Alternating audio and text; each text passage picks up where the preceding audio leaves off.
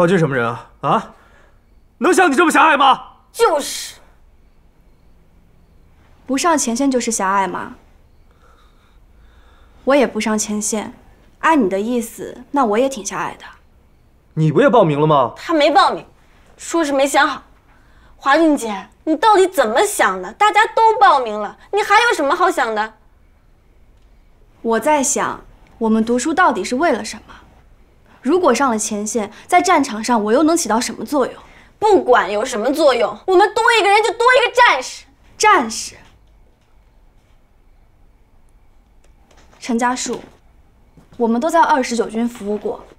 当看到血淋淋的战士被抬下来时，你吐了。我那是。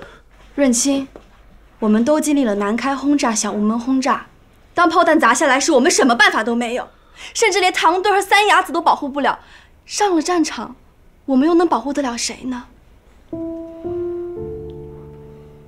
还有碧云霄，你还记得你的父亲毕副师长所说过的话吧？这就是我这些天一直在想的问题。无论你们说我狭隘也好，怯懦也罢，我已经决定继续读书。我也希望你们能冷静下来，仔细的想想，你们是真的做好了投笔从戎的准备，还是愿意继续学习，完成学业？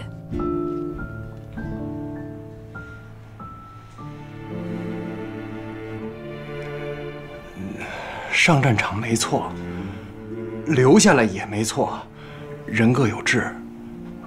我从没觉得你怯懦。谢谢。如果你要奔赴前线，我会为你祈福的。谢谢。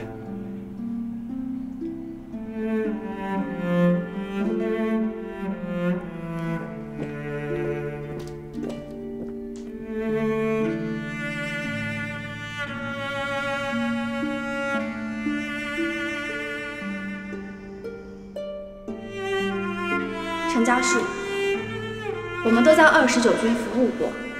当血淋淋的战士被抬下来时，你吐了。我们都经历了南开轰炸、小红门轰炸。